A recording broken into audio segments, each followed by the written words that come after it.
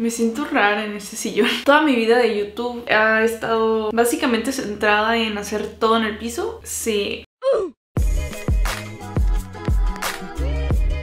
Bueno, para este video les traigo arreglando ropa, DIY de ropa, pimpeando ropa, triflipeando, como le quieran llamar. Eh, me encanta hacer este tipo de videos. Estamos transformando ropa vieja, ropa que tenemos ahí arrumbada, que ya no usamos, a cosas nuevas, modernas, aesthetic. Son como 5 DIYs, son muy fáciles. Unos no requieren de máquina de coser porque sé que les da hueva o no quieren usar. Pero si alguno de ustedes está interesado en aprender a coser, a confeccionar su propia ropa, les recomiendo Creana esta plataforma ya se las hablé en mi video pasado de DIY de ropa. Especialmente hay un curso que yo empecé a tomar de confección y aquí he aprendido muchísimas cosas, principalmente confeccionar mi propia prenda desde cero. Lo cool de esta plataforma es que tienes la oportunidad de aprender sobre muchísimos temas diferentes que pueden ser de su interés. Hay temas de marketing, fotografía, ilustración, entonces seguramente encontrarás uno específicamente para ti. Tú tienes la libertad de aprender desde tu casa y pues sí, gracias a Creana por patrocinar esta parte del video. Como dije, este es súper fácil, nada más necesitan unas tijeras, una cinta métrica. No sé si habrán visto ese tipo de tops que les ponen como unos listones laterales para que los jales y se haga como que arrugadito por aquí. No es mucho trabajo, pero sí involucra coser y muchos pasos. Entonces vi una manera nueva de poder hacerlo sin tener que coser y es demasiado fácil. Ya tengo un rato con él y la no lo uso porque se me hace que está muy largo y lo quería cortar, pero para hacerlo un poco diferente quise intentar ese truquito a ver si si funcionaba. Yo les recomiendo que ustedes lo hagan con tops que les queden justos porque va a ser mucho más fácil. En caso de que su top no tenga la bastilla, yo les recomiendo que recorten por lo menos 2 centímetros para que sus tiras no estén ni muy delgadas ni muy gruesas. Después de... Después... Ya que tenemos nuestras dos tiritas, lo único que tenemos que hacer es pasarla por dentro así como la están viendo y hacernos un nudito o dos para que esté más seguro y hacemos lo mismo del otro lado. Y eso es todo, ya sé que está muy simple, pero neta que se hace la diferencia.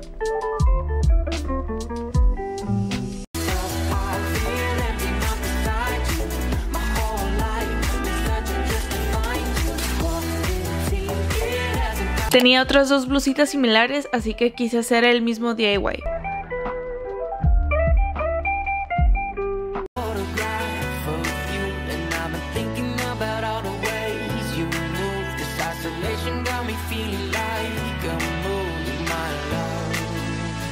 Para el siguiente, este es un top que he estado viendo demasiado, se está empezando a usar mucho este tipo como de, ¿cómo se puede decir? Como medio chal.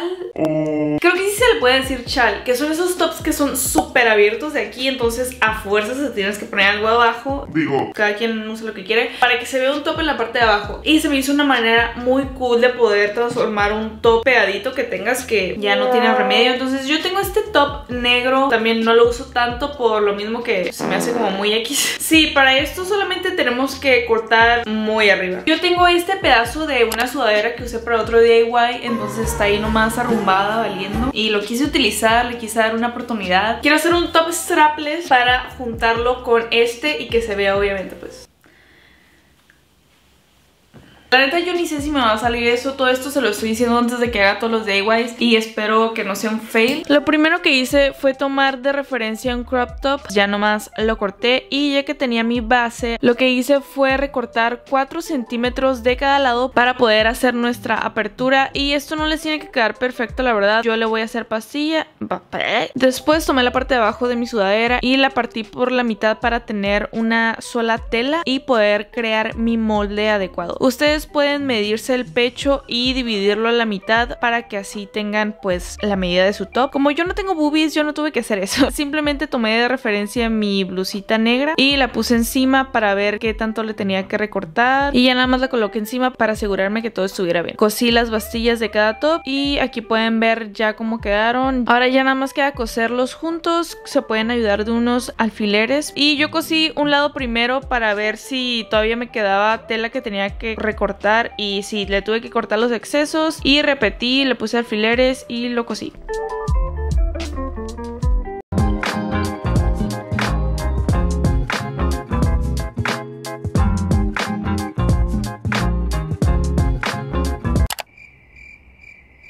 Creo que este DIY es el más como complejo, en el que más le tienen que hacer cosas, pero siento que va a quedar muy cool y estoy muy emocionada por hacerlo. Son estos jeans, se los presento. Estos jeans los compré de segunda mano, me costaron 20 pesos. Hermoso. Y bueno, estos jeans me quedan grandes. Nunca encuentro jeans de mi talla, la verdad. Prefiero comprarlos más grandes porque yo simplemente los ajusto por la parte de atrás. Les voy a enseñar cómo hacerlo por si aún no saben cómo hacerlo. Y si nada más los tengo que ajustar, le voy a poner cloro para que sea un poco más claro. Pero, he aquí le voy a poner un montón de parches de paliacate. No sé cómo se le llame a esto en su lugar de residencia. Pero aquí en mi ciudad se le llama a estos paliacates. Y compré cuatro paliacates. La neta quería blancos y negros, pero no había negro. Entonces escogí este verde oscuro y blancos. Los voy a recortar y le voy a pegar por todos lados este pantalón. Y le voy a hacer algunos rotitos. Lo vamos a pimpear muy cool. Yo solamente les estoy dando ideas y ustedes ya pueden hacer volar su imaginación. Pero ¿saben qué es lo que me sorprendió? Que cada paliacate me costó más caro que mis jeans. Estos me costaron cada uno 38 pesos. Esos son tips para que sus jeans queden más justos si no quieren coserlo. Es la técnica del botón, seguramente ya lo habrán visto, simplemente tienen que poner el botón en esta cosita del cinturón. A lo mejor no es la mejor forma porque les puede quedar un poco aguadito aún, pues es una forma fácil de hacerlo. La segunda forma es usar una cinta de tu zapato, lo pasamos por los dos cositos del cinto laterales, lo estiramos lo más que podamos para que quede justo, hacemos un nudito y un moño y lo podemos esconder por la parte de adentro de nuestro pantalón. Lo que pasa aquí es que su jean está demasiado grande también. Se puede ver muy bien por el frente, pero por atrás tenemos esto. Estos son los materiales que vamos a utilizar para este DIY. Les voy a enseñar a coser su pantalón para que les quede más justo. Vamos a hacer dos costuras justo al centro de nuestros bolsos traseros. Yo me medí mi pantalón y me quedaba 5 centímetros demasiado grande. Entonces de cada lado agarré 2.5 centímetros y lo junté con alfileres. Así es como se tiene que ver. Ya nada más cosemos esas partes de ahí y nos va a quedar algo así. Como pueden notar las bolsas pues como que no se ven muy bonitas. Entonces yo voy a optar por quitarlas. Ustedes pueden omitir esto. Y como pueden ver ya queda mucho mejor el pantalón. Ahora vamos a hacer una mezcla de 70% cloro y 30% agua más o menos. Yo puse la mitad de mi pantalón en una bolsa para que no se manchara y nada más le echamos sprayazos. Al final me desesperé y le eché toda la botella de una. Lo metí a la lavadora. Y para poner los paliacates ya nada más hice recortes super random. Los aseguré con alfileres y cosito a mano. Sé que puede ser tedioso, pero van a ver que va a quedar muy cool. Para las bolsas, no sé si recuerdan que se las quitamos. Yo se las sustituí por unas de paliacate, entonces utilicé como molde. Y así es como terminó mi pantalón.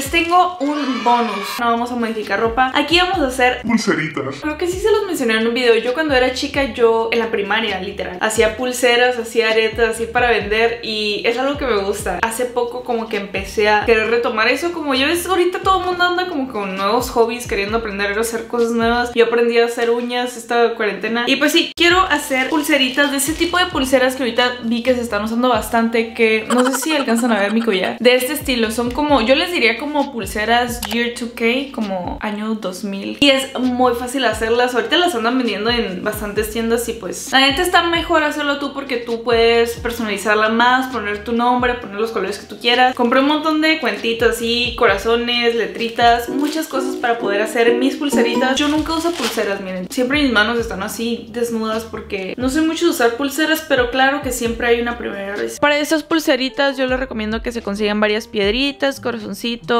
dijes de nombre, lo que quieran. Les quiero dar un tip antes de que vayan a cerrar sus pulseritos para que no se les rompan, pónganle un poco de pegamento súper potente. Yo voy a utilizar este que es para las uñas. Para hacer florecitas van a poner cuatro cuentitas del color que quieran y una que va a ser la del centro. Vamos a pasar el final de nuestro elástico por la primera cuentita en sentido opuesto, como están viendo, lo jalamos y ahora vamos a insertar otras dos cuentitas para cerrar nuestro pétalo. El hilo lo vamos a insertar en la cuentita azul más cercana para que se cierre así nuestra flor y otra vez jalamos y ya tenemos nuestra florecita.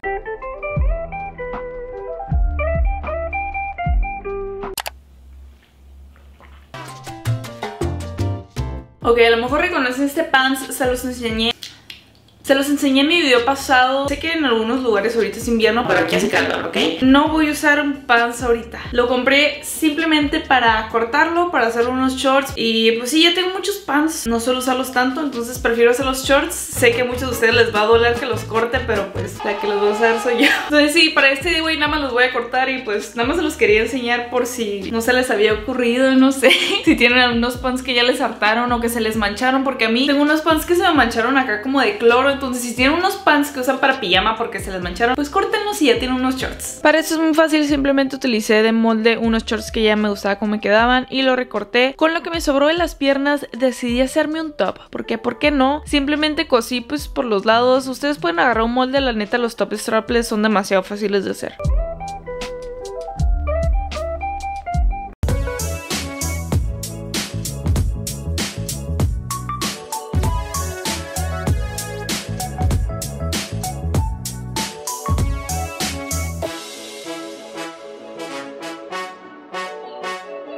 Por último, esto no se los iba a enseñar porque normalmente ese tipo de videos no hemos hago como que tres DIYs, pero hoy me puse generoso, hoy les quise compartir de mis conocimientos.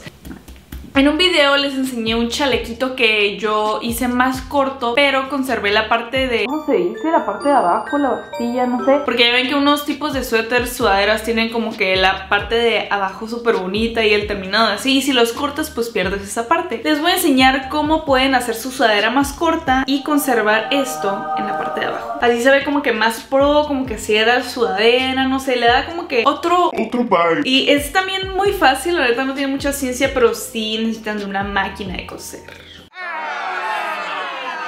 Primero van a medir qué tan corto quieren que sea su top, pero asegúrense de tomar en cuenta la medida de la pretina. Ponemos un alfiler y vamos a doblar la parte de abajo y la vamos a tratar de alinear con este alfiler, porque ahí es donde vamos a hacer la costura. Ya nada más lo aseguramos todo con unos alfileres para que no se nos mueva para nada. Lo cosemos, yo lo cosí por donde estaba la costura anterior de esta pretina y como pueden ver ya se ve súper bonito, pero tenemos toda esta parte de abajo que nos sobra. Esto nada más lo vamos a recortar porque la neta ya no nos sirve, nada más tengan cuidado de no recortar sus costuras.